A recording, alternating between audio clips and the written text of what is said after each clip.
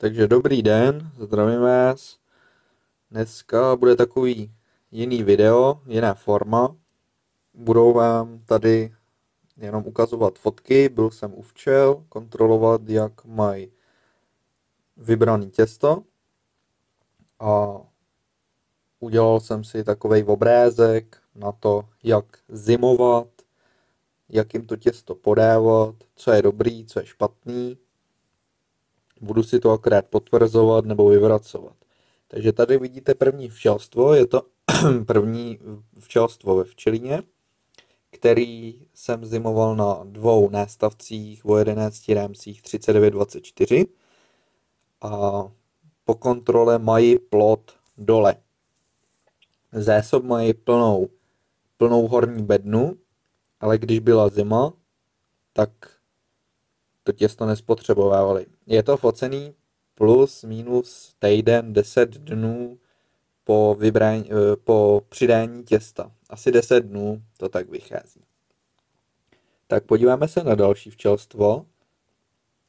Tady to je to silný, to je na třech bednách a to má plot v prostřední bedně.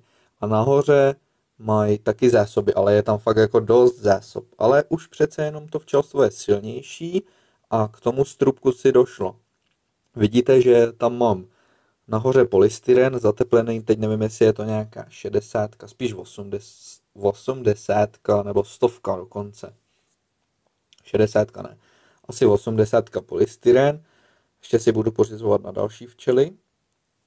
No a tady už si včelky dokázaly i v těch zimách pro to těsto dojít. Další včelstvo je třetí včelstvo ve včelíně, dvě jsem vynechal a tady vidíte, tady je zase na dvou nástavcích, je to nezateplený úl, jako oba dva předchozí a ploduje taky dole. Jo, je takový slabší tohle včelstvo, možná, že ho budu spojovat a to těsto nemá moc dobře vybraný. Podíváme se ven, Tady je jedno včelstvo na dvou nástavcích v zatepleném úle a ploduje, těžko říct, ale je dole. Jo? Takže budou plodovat taky dole. A mají to těsto ze čtvrtky vybraný. Takže fakt malinko. Další včelstvo to je zakomorovaný oddělek na pěti rémcích. Myslím si, že ty pět, těch pět rémků je až dost. Jo. Já jsem se bál je stáhnout na čtyři, tak jsem jich nechával pět. Ještě jsem to na těch pět mohl stáhnout. Ale vidíte, jak ty včely jsou nahoře, mají těsto celkem dobře vybraný. Další obrázek je včelstvo produkční, ale je zakomorovaný. Takže zase vidíte na čtyřech rámcích, těsto má celkem dobře vybraný. Zase je nahoře, víc naméčknutý.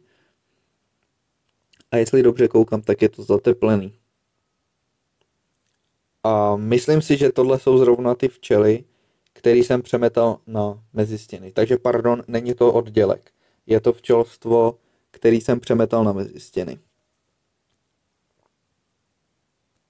Tak, další včelstvo, tohle je oddělek, co jsem loni dělal, mám ho na pěti rámcích. A zase vidíte, když ty včely jsou u stropu, jsou v tom horním nástavku, tak jak to pěkně mají vybraný. Zase jsem je mohl dát na čtyři rámky. Vůbec by tomu nevadilo. Tak, tohle je další oddělek,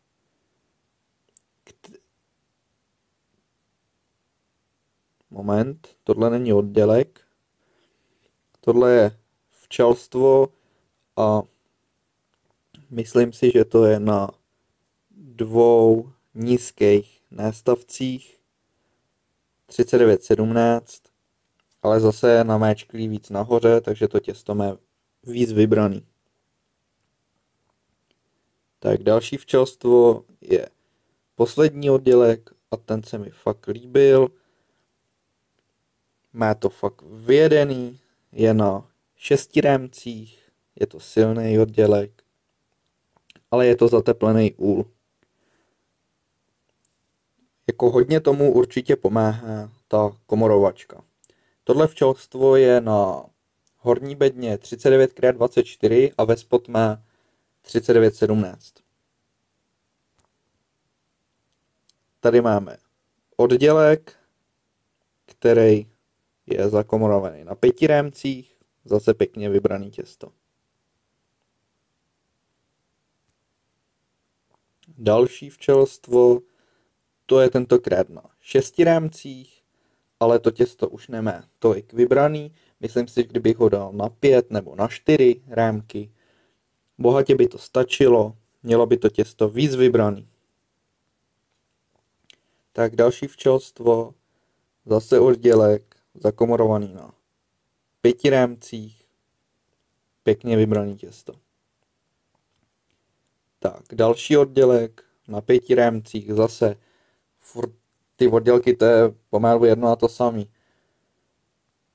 Jsou u stropu, mají vybráno. Tak a tak tady poslední, tohle je Roy, který je usazený na dvou nástavcích 39x17 a je to na osmi rámcích 39x17, které jsou pod sebou a jsou vedle toho komorovačky 39x34.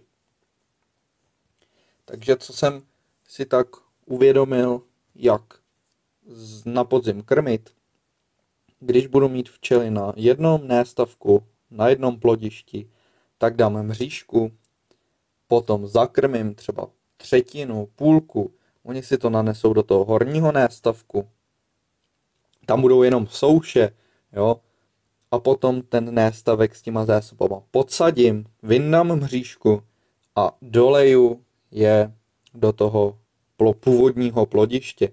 Takže oni budou mít dole trošku zásob a nahoru je zaleju. Takže matka potom dolů by měla menší tendenci slést a měla by podle mého spíše z jara plodovat v tom horním nástavku. Bude jí tam teplejš, jo, nebude muset mít nad sebou jako volný prostor a vidíte i ty oddělky, které jsou nahoře naméčklí, jsou smrsklí k sobě, že mají to těsto prostě líp, líp spotřebovaný. Ty, co jsou na dvou nástavcích a plodujou dole, a trošku se, trošku se změní počasí k horšímu, pod nulou, tak už si proto prostě nedojdou. Samozřejmě já jsem tuhle metodu už zkoušel, jako jim zakrmit. U těch oddělků dal jsem, měl jsem plodiště 39x24, měl jsem to na nějakých sedmi rámcích, dal jsem hříšku nízký nástavek se soušema, dal jsem jim tam 6 kg cukru, potom jsem hříšku vyndal, otočil, mám teď dole sedmnáctky, ty jsou prázdný a nahoře pěkně plodujou na velkých rámcích. Tak takhle bych to chtěl asi udělat u všech včelstev, až budu krmit.